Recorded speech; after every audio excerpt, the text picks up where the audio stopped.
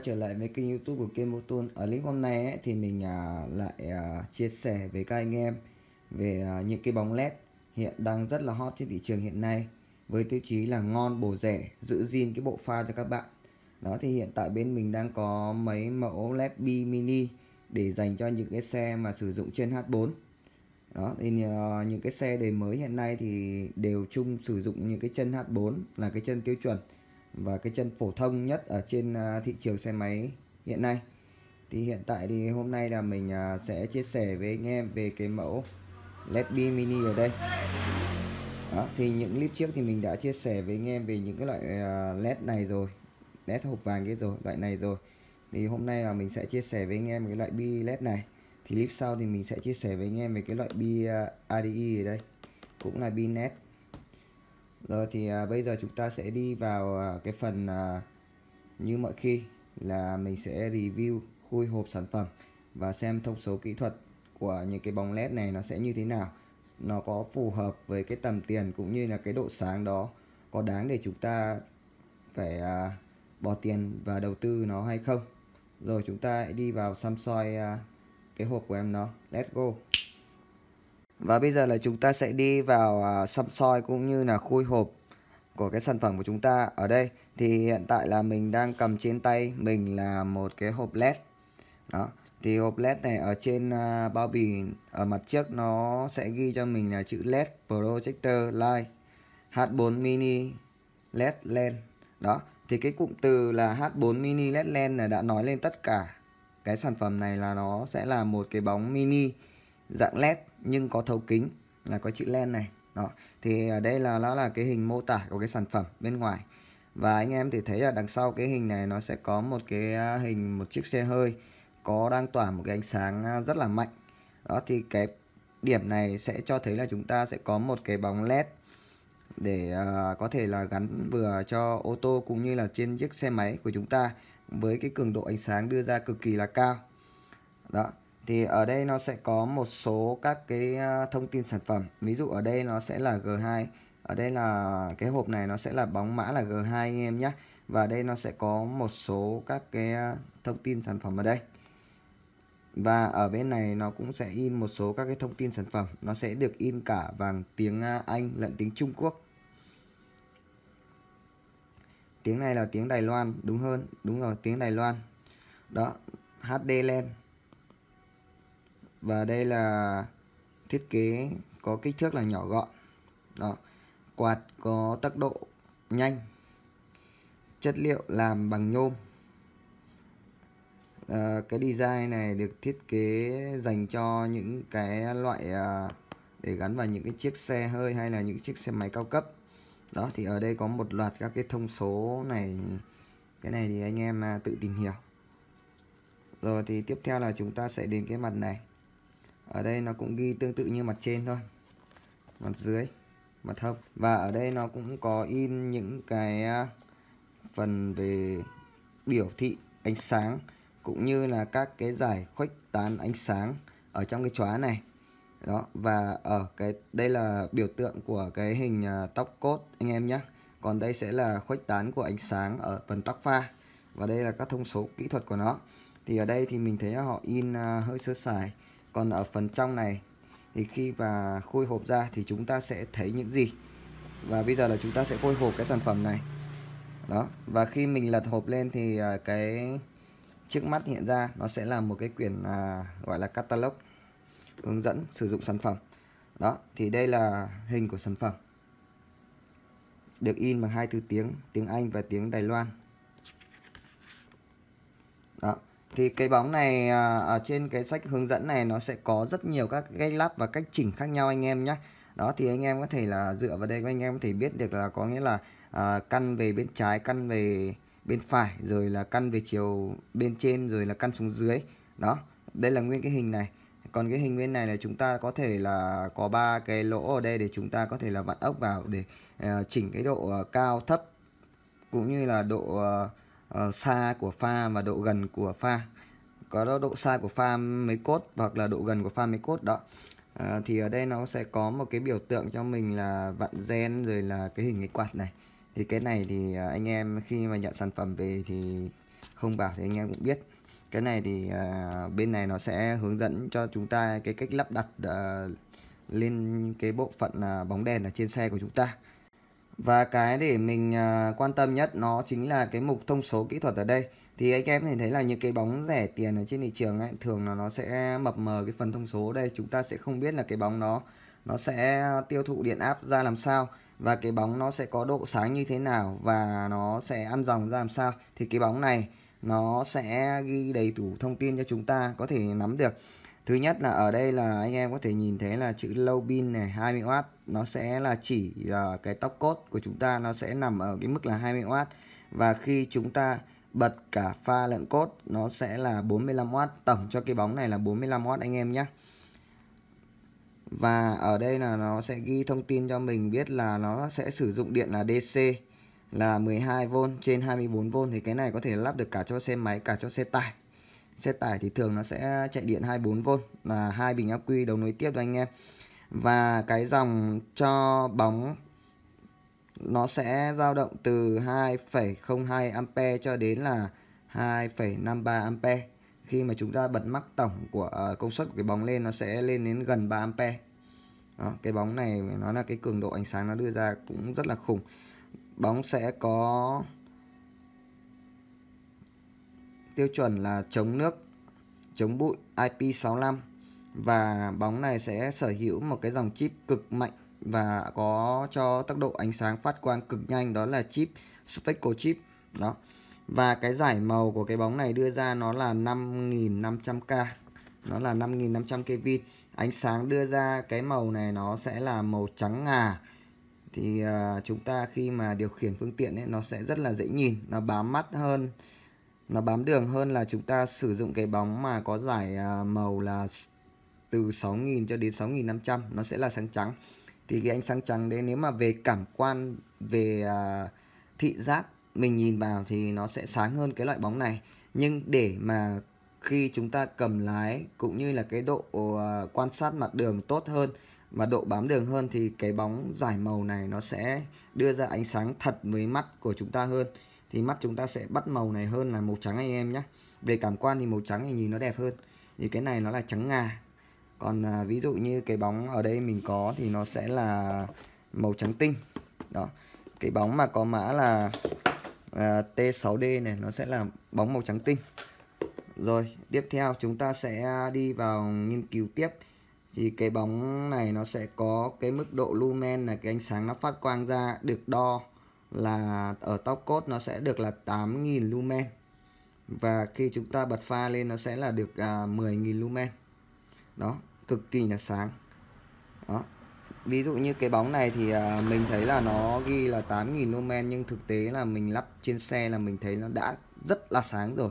Mà bóng này nó lên đến 10.000 lumen thì nó phải sáng gọi là gấp à, 1 phần 2 gọi là gấp đôi cái bóng kia đi bởi vì cái này nó sẽ tăng độ sáng lên là nhờ có bi cầu, projector đó anh em đó, và thân bóng được làm bằng chất liệu là nhôm, series 6000 bóng có tuổi thọ là lớn hơn 30.000 giờ, giải nhiệt độ làm việc từ âm 40 độ C đến dương 80 độ C. Đó, cái này thì anh em có thể là lắp vào những cái khoang à, động cơ như kiểu là xe à, xe con hoặc là xe tải, rất là ok. Nó sẽ chịu được cái nhiệt độ cao xe máy thì ờ, hầu như là cái nhiệt độ ở trên đầu xe nó không có luôn. Đó. Mặt sau này nó sẽ là ghi ờ, thông tin ờ, bảo hành. Cái này chúng ta không quan tâm lắm. Và tiếp theo là chúng ta sẽ đến cái hộp này. Và khi chúng ta lật cái miếng mút này lên thì ở trong nó sẽ có hai cái bóng như thế này. Đó. Thì à, bây giờ là mình sẽ không khui hai cái bóng ở trong hộp này ra nữa. Thì mình sẽ có hai cái bóng để demo trực tiếp vào đây cho anh em và thêm nữa là chúng ta sẽ được tặng kèm những cái con ốc như thế này để chúng ta vặn vào cái phần đuôi. Thì tí nữa là mình à, sẽ để cái ngòi ốc vào đây. Thì à, chia sẻ với anh em, đây nó sẽ là cái bóng G2 của chúng ta. Cái bóng G2 này được thiết kế bằng nhôm CD 6000 rất là chắc chắn. Thì anh em có thể thấy là ở phần à, thân bóng này, nó sẽ có một cái màu gọi là màu nhôm nguyên bản. Đó, cái màu nhôm này thì theo như cảm quan của mình thì uh, cái phần nhôm này nó được đúc bằng một chất liệu nhôm thì mình thấy nó như kiểu là ở trên những chiếc iPhone ấy. Hoặc là cái chất màu nhôm này mình thấy nó giống màu của cái thân máy của những cái xe Vespa. Piaggio của Ý đó. Đó tương đối là xịn sò. Thì à, bây giờ là mình sẽ quay qua một vòng cho anh em coi về cái thiết kế cũng như là cái cấu tạo của cái bóng này. Và bây giờ là mình sẽ đi vào chi tiết tính từ ngoài đầu ờ, bóng này vào. Thì ờ, đập vào mắt của chúng ta, từ cái ngoài phần mà pha chúng ta nhìn vào thì khi mà lắp lên xe thì chúng ta sẽ nhìn thấy một cái ờ, projector thủy tinh trong suốt. Cái này là thủy tinh anh em nhé trong suốt có kích thước là một inch. Một inch khá là to rồi. Billet mini một inch như này là khá là to rồi thì tiếp theo là sẽ đến một cái vòng bằng inox được dập để uh, giữ cố định cái phần bi này vào cái thân của cái bóng này. Và tiếp theo là nhìn sâu vào trong cái bóng này thì chúng ta có thể nhìn được sâu vào trong cái phần uh, đây chỗ tay mình chỉ ở đây. Nó sẽ có một cái phần là chia cắt một tầng cao một tầng thấp để nó đưa ra một ánh sáng gọi là bên cao bên thấp. Thì uh, tí nữa thì mình uh, sẽ test cái ánh sáng thực tế ở trên cái bóng này là mình sẽ giải thích tại sao nó sẽ làm cái phần uh, bên cao bên thấp này lý do nó sẽ để làm gì và như thế nào. Đó cái lợi ích mang lại của nó sẽ làm sao khi mà nó sẽ làm một cái cái phần bên cao bên thấp này. Đó anh em thì nhìn thấy nó bên cao bên thấp bên này thấp và bên này cao. Rồi tiếp theo là chúng ta sẽ nhìn thấy một cái phần là nõn để bảo vệ cũng như là à, gom ánh sáng để nó đưa ánh sáng vào cái cầu thủy tinh ở đây projector ở đây nó sẽ là phần nhôm. Ở trong này được tráng xi một lớp xi à, bóng nhoáng. Máy quay của mình băng bật đèn lên thì anh em không nhìn thấy cái phần trắng sáng ở trong nó thì nhìn thấy nó rất là chói thôi. Và tiếp theo là để như thế này là chúng ta sẽ nhìn thấy một cái nhân chip led ở trong này. Đó, nó sẽ ghi là IPHLV1.1 thì anh em sẽ hơi khó nhìn. Và tiếp theo đến là chúng ta sẽ nhìn đến một cái thân đằng sau này sẽ là cái phần đuôi chứa chân H4 của chúng ta để chúng ta sẽ gài lên à, phần à, pha đèn của chúng ta và tiếp theo ở phần đằng sau này chúng ta sẽ thấy một cái à, quạt đó, và được kết nối bởi một cái rắc connect đó. thì cái phần quạt này là chúng ta khi mà lắp vào thì chúng ta sẽ xoay ra anh em nhé đó.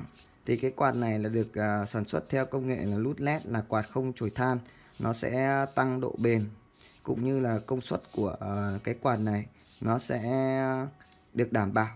Chạy trong thời gian là lâu dài hơn so với những cái loại quạt mà rẻ tiền là sẽ sản xuất bằng chạy bằng chổi than.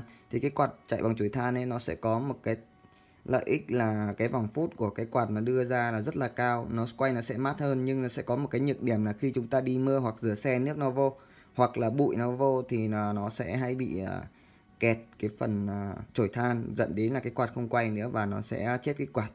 Thì cái quạt này nó được uh, thiết kế dạng là không chổi than cho nên là cái độ bền nó rất là cao. Và trên thân quạt nó sẽ có cái phần à, đậy cánh ở đằng sau này. Thì khi chúng ta lắp lên xe những cái dây điện nó như thế này này nó chạm vào đây thì cũng không sợ là bị uh, kẹt quạt và cháy quạt. Đó thì ở trong này anh em thì nhìn thấy cái chữ IHPK thì nó hơi khó nhìn. Đó anh em thì nhìn thấy và cái thông số kỹ thuật của nó nó ghi ở trong này. Đó thì uh, do là ánh sáng đèn flash nó soi vào nên anh em sẽ không nhìn thấy. Và trên cái quạt này chỗ cái phần gen này anh em có thể nhìn thấy phần keo. Đây là cái phần keo tản nhiệt anh em nhé. Khi chúng ta lắp vào thì anh em cũng ờ, nên tránh cái này ra. Để nó dây ra tay nó mất cái lớp keo đi thì cái độ tản nhiệt của cái cái quạt này nó từ cái thân của cái bóng này đã truyền ra cái quạt này nó sẽ kém hơn. Đó cái keo này là keo tản nhiệt anh em nhé chứ không phải là keo để giữ cố định cho nó chắc đâu. Đó và khi chúng ta lắp vào rồi thì chúng ta sẽ xoáy nó như thế này. Và chúng ta sẽ kết nối cái rắc này vào để cho cái quạt nó sẽ quay.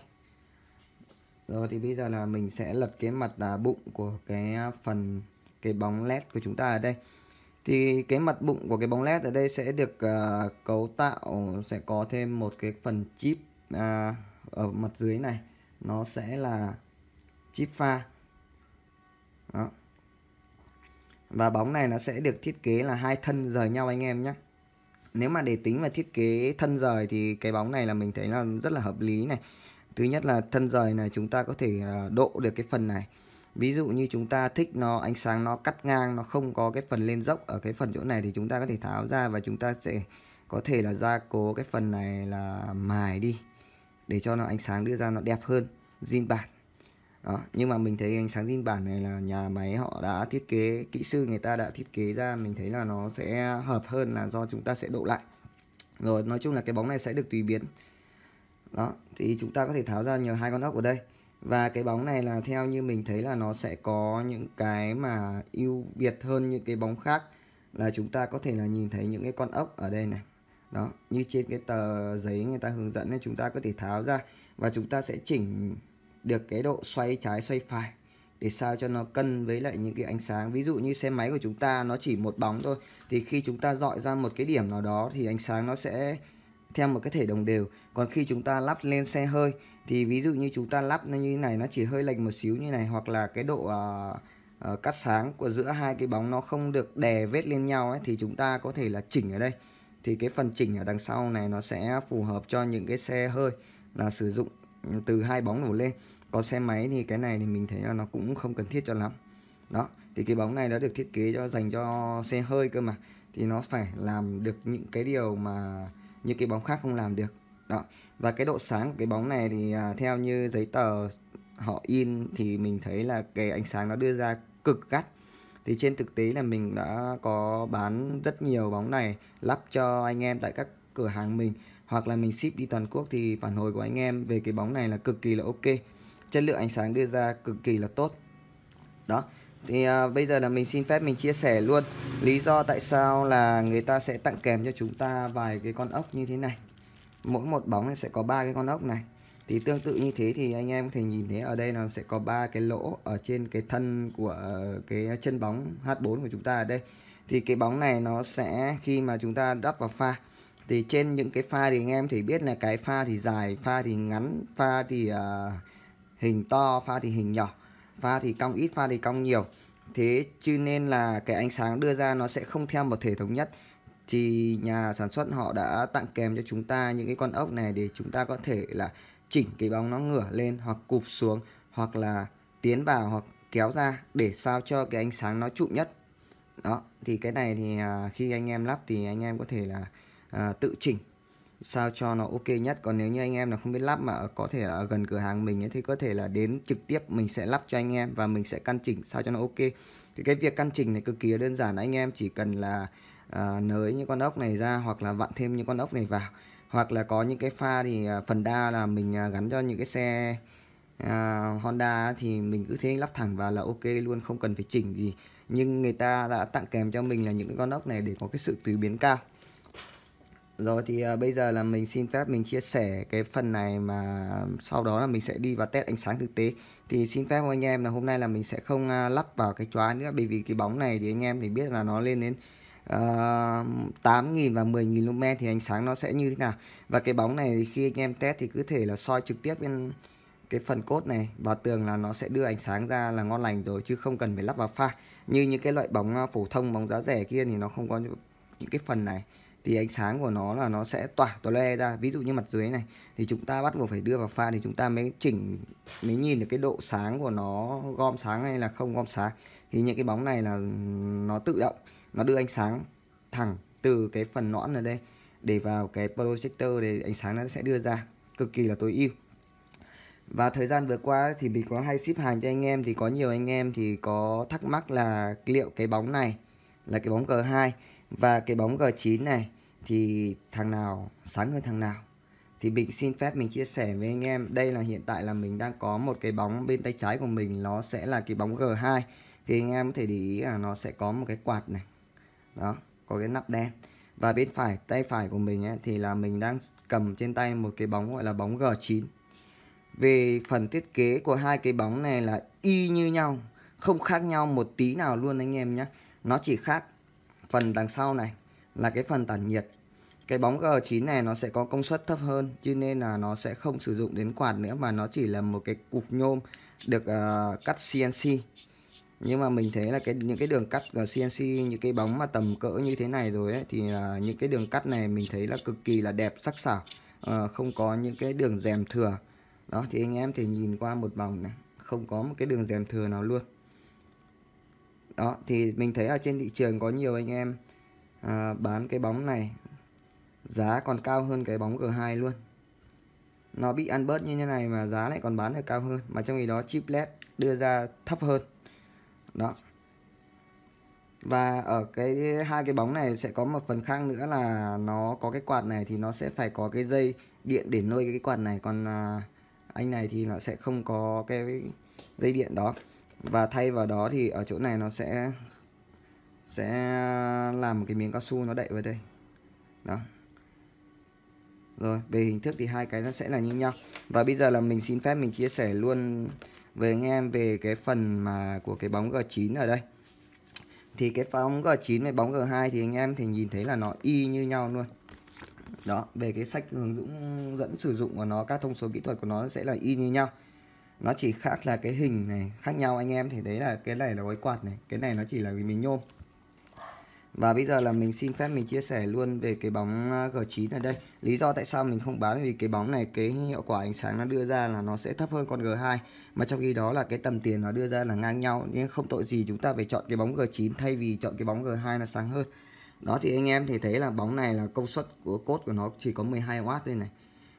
À, pha nữa là thành 36W này. Điện áp thì vẫn thế này cái dòng tiêu thụ của nó là sẽ là 1 ampe và 1,5 ampe khi mà bật mắc.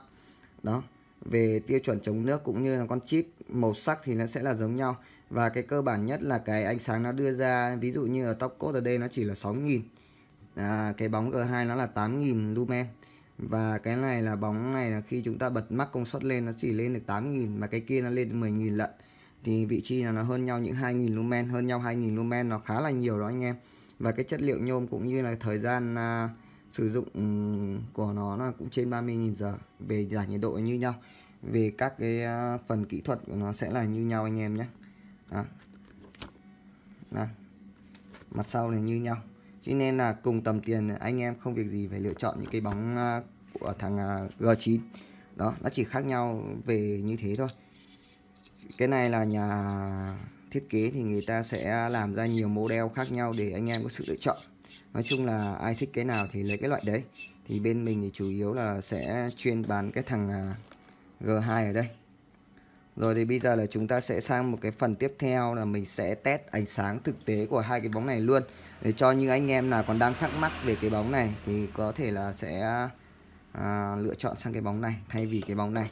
Mặc dù là hai cái bóng này tầm tiền giá ngang nhau nhưng về công nghệ tản nhiệt thì cái công nghệ tản nhiệt bằng quạt này nó sẽ tối ưu hơn là cái công nghệ à, giải nhiệt, gọi là cưỡng bức ở đây. Nó chỉ là cái phần nhôm. Đây anh em thì nhìn thấy phần gen ở trong nó chả có gì luôn. Thằng này nó còn công nghệ hơn là nó sẽ dùng quạt.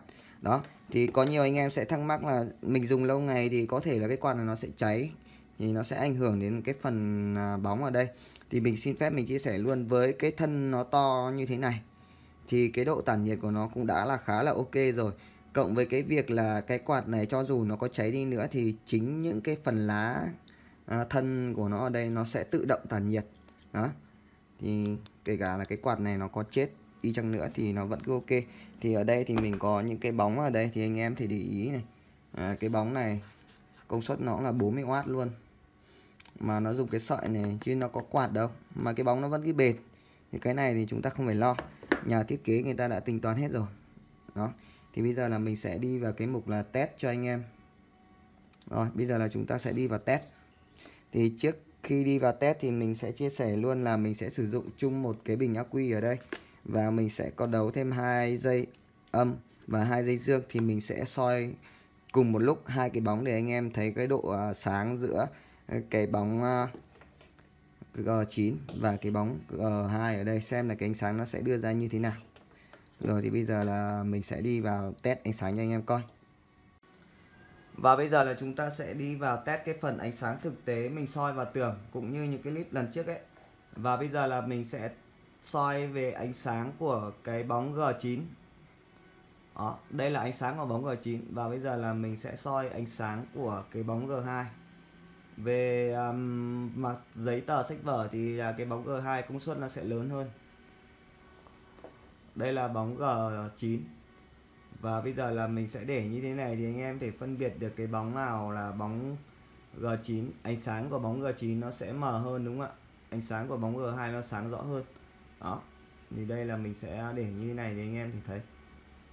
G9 bây giờ ở trên rồi. G2 ở trên. Đó thì về công suất của hai cái bóng này nó lệch nhau khá là ít như nên là cái độ à, màu ở trên camera nó sẽ ghi lại. Thì ánh sáng hầu như là chúng ta sẽ không phân biệt. Còn nhìn trên thực tế ở ngoài này thì mình cảm nhận thấy bóng G2 là cái bên này của mình là bên trái này, ánh sáng nó cắt hơn là cái bóng G9 đó. Thì đây là mình sẽ căn cho hai cái phẳng này nó sẽ cao bằng nhau. Đó, thì anh em thì thấy là cái bóng nào nó sáng hơn đúng không ạ? Rồi thì bây giờ là mình xin phép mình chia sẻ à, một cái phần này cực kỳ là quan trọng. Thì anh em thì thấy là à, ở đây nó sẽ có cái phần ánh sáng cắt đến đây là nó sẽ lên đỉnh và nó sẽ sang ngang như thế này đúng không ạ? Thì thường là anh em sẽ thắc mắc là lý do tại sao họ lại làm như thế. Thì mình xin phép mình chia sẻ là khi chúng ta đi như thế này thì chúng ta sẽ đi về cái phía phần tay phải của chúng ta là phần bên này. Thì cái phần này phần bên phải này nó sẽ là soi vào bờ đường thì soi bờ đường thì chúng ta sẽ phải cần nhìn một ánh đèn nó xa hơn. Còn phía bên tay trái này sẽ là cái người đi đối diện từ đằng xa lại. Thì người ta sẽ bị có xu thế là bị chói mắt thì nhà sản xuất họ sẽ đưa cái ánh sáng nó thấp xuống. Như thế là nó sẽ giảm cái độ chói mắt cho cái người đi ngược chiều. Còn cái đèn của chúng ta ở phần phía bên tay phải của chúng ta ở bên chỗ mình chỉ đây thì ánh sáng nó sẽ được uh, trải xa hơn. Thì nó sẽ tăng cái phần quan sát ở phía mép đường cũng như là cái, những cái người đi bộ này, những cái người mà đi ờ, chậm hơn chúng ta, tốc độ chậm hơn chúng ta thì chúng ta sẽ dễ quan sát người ta. Đó, lý do làm như thế là nhà sản xuất người ta đã tính rồi. Thì tí nữa thì mình sẽ đưa cho anh em xem ánh sáng của một cái bóng mình độ lên thì nó sẽ là như thế nào. Rồi thì bây giờ là mình sẽ ờ, cho ánh sáng của cái bóng mình độ nhé bây giờ là mình xin phép là mình sẽ chiếu ánh sáng mình độ cho các bạn xem. Đó, ánh sáng đây là ánh sáng mình độ là mình đã làm phẳng à, cái phần ánh sáng này rồi. Thì à, mình theo mình thì mình lại thích nhìn cái ánh sáng phẳng này hơn. Thì nó sẽ có thêm hai cái quần xanh kia khá là đẹp. Và bây giờ là mình sẽ cho anh em coi cái ánh sáng zin ở trên cái bóng này. Đó ánh sáng zin thì nó sẽ là có một cái đường lên dốc và cái phần à, ánh xanh của nó nó sẽ là như thế kia. Và bây giờ là mình sẽ cho anh em thấy là cái phần ánh xanh của cái à, bóng của mình làm. Đó thì anh em thì thấy ánh sáng nó được uh, trải rộng hơn phẳng hơn. Còn cái này thì nó sẽ là ánh sáng bị liên dốc. Đó thì anh em thì ờ, so sánh uh, hai ánh sáng của cùng một cái bóng G2 một bên là mình độ là bên phẳng này một bên chưa độ thì nó sẽ là như thế này. Đó thì anh em thể thấy là cái phần ánh sáng của cái bóng độ rồi ấy, cái phần trải rộng ánh sáng nó sẽ là rộng hơn. Còn cái bóng chưa được độ thì nó sẽ hẹp hơn đó. Rồi thì cái phần này thì là do sở thích của mình thì mình thích độ lại thôi. Còn thường là mình ship cho anh em nó sẽ là bóng như thế này nhá. Đó. Thì cái lý do mà bóng ờ, được thiết kế như cái bóng mình ờ, đang soi trên màn hình ấy thì anh em thì thấy là nó làm cái này là cực kỳ khoa học. Nhưng mình thì mình lại thích cái kiểu này hơn. Vì cái phần quầng ánh sáng đưa ra nó rộng hơn. Mình nhìn trên thực tế nó thích hơn. Và cái phần xanh kia mình thấy nó được nhiều hơn. Còn cái phần xanh của cái thằng này thì nó ít hơn. Rồi thì ờ, tóm cái váy lại là cái này thì là do sở thích thôi. Video sau ấy, thì mình sẽ làm cái ờ, video test ánh sáng thực tế trên ờ, một số các cái loại mẫu bi led và bây giờ là mình sẽ cho anh em thấy cái ánh sáng trực tiếp của cái bóng này. Khi mà mình sẽ đấu điện vào thì ánh sáng nó sẽ ra làm sao? Và bây giờ là chúng ta sẽ nhìn thẳng vào cái bóng này. Đây là ánh sáng cốt. Đó ánh sáng cốt thì nó sẽ không phản ánh sáng sang cái bóng bên cạnh. Và bây giờ là mình sẽ bật nấc pha đó thì ánh sáng nó sẽ sáng toét to le bởi vì là nó đang không nằm trong cái chóa đèn của chúng ta. Và cái ánh sáng này mình thấy là cái ánh sáng cường độ ánh sáng đưa ra rất là mạnh. Với cái tầm tiền này thì không kiếm đâu được cái bóng nào ánh sáng nó đẹp và uh, ờ, độ sáng nó đưa xuống mặt đường uh, cao như thế cả. Rồi thì bây giờ là mình xin phép mình chia sẻ. Uh, tóm cái vé lại thì uh, anh em nào có nhu cầu thì có thể liên hệ trực tiếp với mình theo cái số điện thoại mình sẽ để ở góc màn hình thì uh, những cái clip trước thì mình đã chia sẻ với anh em về những cái phần bóng này rồi thì mình có lắp vào những cái chóa đèn ấy. Thì cái cách thức lắp cái bóng này nó cũng tương tự như những cái bóng khác. Đó thì anh em nào muốn biết cái cách lắp như nào thì anh em có thể là uh, xem những cái video khác nhận xét về cái bóng này. Thứ nhất là hình thức đẹp chất liệu chắc chắn giá thành hợp lý độ sáng cao ngon.